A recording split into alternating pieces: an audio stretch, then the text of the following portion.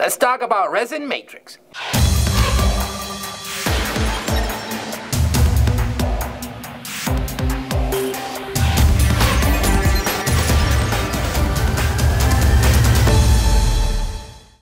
When you think about development of dental materials, you have to think about two main components. You have to think about fillers and you have to think about resin matrix development. Now, for the most part, resin matrices are very hydrophobic. They don't allow anything to come in or anything to go out. They repel water.